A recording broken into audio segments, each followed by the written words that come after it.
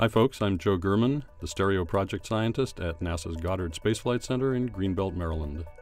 STEREO, or the Solar Terrestrial Relations Observatory, is a NASA mission consisting of two spacecraft orbiting the Sun in orbits just inside and outside the Earth's, with the objective of learning more about solar activity and how it propagates through the heliosphere.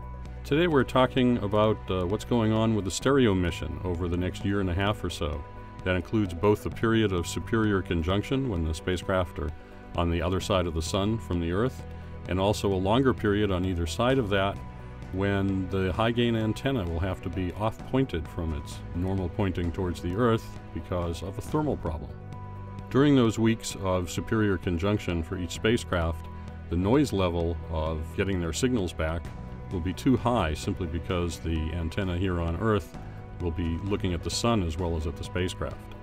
During that period, we won't be able to communicate with the spacecraft, and after about three days, there's a timer on the spacecraft that will go off and put it in a safe mode. It will also turn off the power to the instrument. And that's a period of about 15 weeks on the ahead spacecraft and 9 weeks on the behind spacecraft. Fortunately, those periods don't overlap. In August 2014, we'll reach a situation where the high gain antenna on the stereo spacecraft will be pointing back towards Earth but seeing too much of the sun.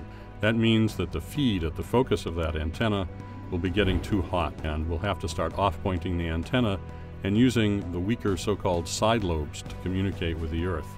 That means we can't get back as much data in a given amount of time as we could before, so we're going to be carefully cherry picking which data we send back during that period. And that's a, a, period of about 16 months on the ahead spacecraft and 14 months on the behind spacecraft. And it'll take us to approximately the beginning of 2016 when we can resume normal operations on the main lobe of the antenna.